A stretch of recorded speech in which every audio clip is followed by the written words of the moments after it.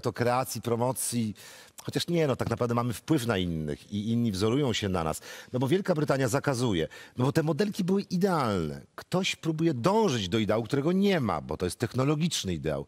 Czy to dobry kierunek, to co zrobiono w Wielkiej Brytanii, ta blokada, stop filtrom? Tak naprawdę to wszystko zaczęło się oddolnie, można powiedzieć, dlatego że jedna z e, makijażystek, modelek, e, Sasha Palari, e, postanowiła sama zupełnie z własnej inicjatywy w lipcu 2020 roku, czyli już w czasie pandemii, e, postanowiła rozpocząć taką akcję e, Filter Drop, czyli pozbywamy się e, filtrów e, ze zdjęć na Instagramie i owszem, ona się malowała, ale pokazywała, jak wygląda w tym makijażu naprawdę, a nie z filtrami, czyli te niedoskonałości cery były i tak widoczne. Ta akcja e, na maksa się spodobała. To po prostu to, co się działo na Instagramie, to był fenomen. Mnóstwo ludzi zaczęło oznaczać swoje zdjęcia tym hashtagiem filter drop.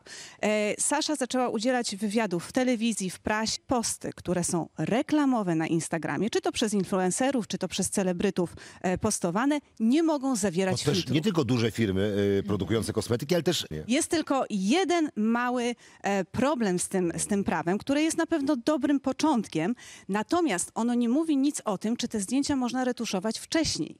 Czyli możemy zrobić sobie zdjęcie, wyretuszować, oddać je do retuszera, wrzucić na Instagram bez filtrów, ale ono A. jest mu opcję. No, telefony są przepiękne, teraz każdy z nas, ale słuchajcie, czy tylko te osoby, które zajmują się, zdejmiemy swoje piękne ubrania, czy my będziemy tak samo Spójrz, wyglądać y, to, pra, jak to jest reszta? prawdziwe, prawdziwe. No To jest tak, jedna z tu tak sióstr naprawdę Kardashian, jedna z tak? Kardashian. Nie wiemy, czy to jest do końca prawdziwe. 40 lat i wyżej czasami, a Słuchajcie, wyglądają jak dwudziestokilkolatki. Od dziesiątek lat są sesje zdjęciowe. Są wybitni fotografowie, już nie, będziemy, Mhm. nie będę wymieniał ich z nazwiska. I powstają genialne zdjęcia. I wyglądamy na nich inaczej niż w rzeczywistości. No, świat staje się. Są dwa światy. Jest świat internetu, Instagrama i świat ten e, Mhm. Ale rzeczywisty. też trzeba to rozróżnić. Jedno to kreacja artystyczna, to zdjęcie jest dziełem sztuki i ono może być przerobione.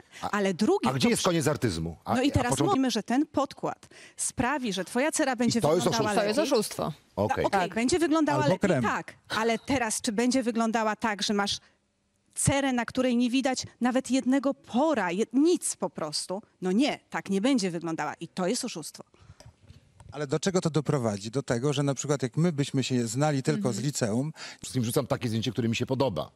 I to jest podstawa i chyba każdy z nas to y, no tak, no to to od robi. tego No, zaczynamy i później jeszcze Są te idealne modelki, którzy, które widzą te idealne twarze i też chcą tak wyglądać. Nie wyglądają, mają depresję, są próby samobójcze. No, no to są prawdziwe tragedie. Czy Tego kupują ten krem, a ten krem nie działa? Ale słuchajcie, w wieku Ładnie. To jest 16 lat czy nie mają mieć prawa tego trącić. Prawdziwi ludzie, którzy nie retuszują prawdziwi, swoich zdjęć, my też jesteśmy w stół, prawdziwi. jesteśmy tutaj. Ja słuchajcie, dzisiaj wychodząc, bo teraz goście malują się sami, nie wiem czy państwo, państwo wiedzą, ale tak jest, więc my się musieliśmy Tak, sami tak. umalować. Ja dzisiaj stwierdziłam, a chyba wolę... Nie maluję się. Nie, no umalowałam się, no trochę się jednak umalowałam, ale nie, no chwilkę. Okej, ale kawka, powiedzcie, czy to jest, e, nasze ważne pytanie.